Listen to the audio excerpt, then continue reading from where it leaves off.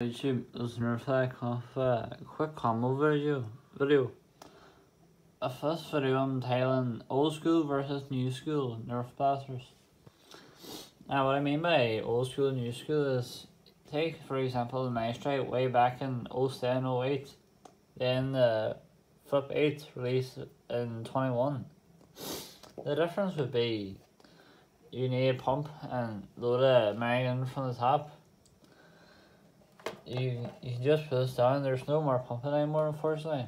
And all you need to do is flip a side for this to spin. Granted, they have the same build capacity, apart from the extra with two extra jars in the chamber. Also, it's an air power compared to a spring power, You need to fire the air power quick, quick, quite quickly because it deflates over time. Whereas spring power, you could leave it on for I don't know how long.